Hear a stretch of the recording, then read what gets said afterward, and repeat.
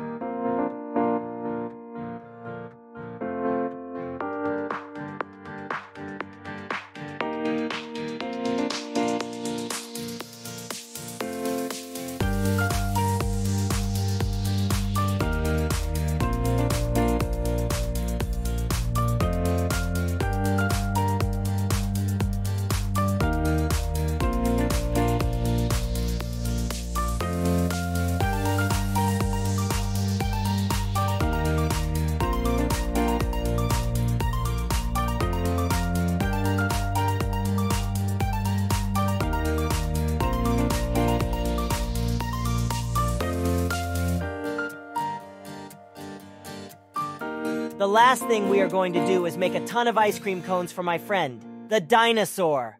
It is his 11th birthday, so let's make him 11 giant ice cream cones to snack on.